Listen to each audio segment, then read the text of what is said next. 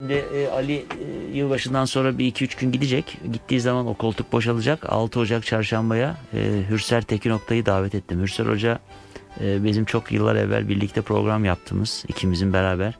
E, bizim eski dinleyeceğimiz çok iyi bilirler. E, yerel yöneticilerle e, olsun, kamu çalışanlarıyla olsun, kamu bürokrasisi olsun hepsiyle mücadele ettik. E, spor alanlarının, yeşil alanların ranta kurban edilmemesi, e, AVM'ye, e, işte özel e, rezidanslara, plazalara dönüşmemesi ve bunların e, binlik planlarla, yerel yönetimlerden, beş binlik planlarla, e, büyükşehir yönetimlerinden e, plan değişiklikleriyle e, e, amacından çıkartılması, nasıl ayak oyunlarıyla, nasıl bu işlerin yapıldığına dair çok ses getiren yayınlar yaptık. Mahkemelik olduk, mahkemelerde mücadele verdik bunun için.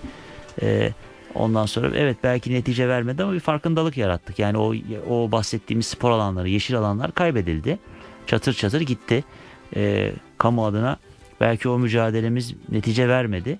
Oralarda şu anda bizim o mücadelesini verdiğimiz yerlerde milyonlarca dolarlık e, rezidanslar, iş, ticaret alanları var.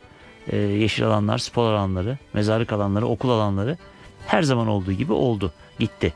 E, rantı da ortaya koyduk, hepsini yaptık. E, mahkemeye verdiler, iftira atıyorlar dediler. E, mahkeme hiçbir iftira olmadığına, hakaret olmadığına kanaat getirdi. Bir nevi bize haklı gördü. Kamu görevini yapmışlar dedi ve sordukları sorular doğru dedi mahkeme. E, ders niteliğinde gerekçeli karar yazdı. Ne oldu? Biz canımızı kurtardığımızda sevindik. Şimdi bunu niye anlatıyorum? Hürsel Tekin Oktay bu işleri çok iyi bilen. Çanakkale Dardanel'in teknik direktörünü yapmış zamanında. Ee, ve 18-18,5 yaş ortalamasıyla Dardanel'e harika futbol oynatmış.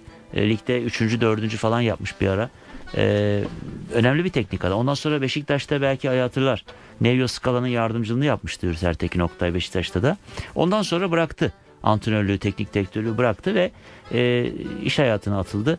E, işte bu süreçte iş hayatındayken biz beraber e, sporun altyapının sorunları, amatör kulüplerin sorunları, amatör kulüplerin malzeme problemleri, saha tesis problemleri, e, ve yeşil alanlar, spor alanları bu tip konulardan bahsetmiştik. Bu tip konuların mücadelesini vermiştik. Çok ciddi bir dinleyici kitlesi bizim arkamızda durmuştu. Onlar hala bugün bizi dinliyorlar birçoğu. E, onlara da selam söyleyelim. Hüser Tekin Oktay sonra Beşiktaş kulübünde başkan adayı oldu. E, biliyorsun çok Fikret Orman karşısında çok ciddi de bir oy almıştı. En son seçimlerde de Ahmet Nur Çebi'ye kaybetti.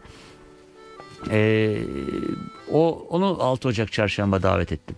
Tam konuşulacak bu konuları konuşacak adam. Futbolun altyapısını temelinden itibaren her şeyini bilen antrenörlükle, teknik direktörlükle, e, Beşiktaş kulübünün başkan adaylığıyla bütün süreçleri yaşamış.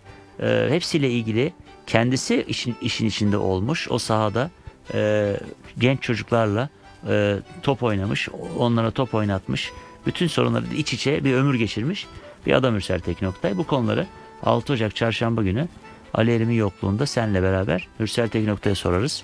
Onun tespitleri ve ileriye dönük bu Türk futbolunun nereye gittiği, altyapı sorununun ne olacağı, bu, bu kulüpleri ve bu e, futbolu yönetenlerle bu iş nasıl dönecek? Onları Hürsel Tekin Oktay'la konuşursak daha verimli olur diye düşünüyorum.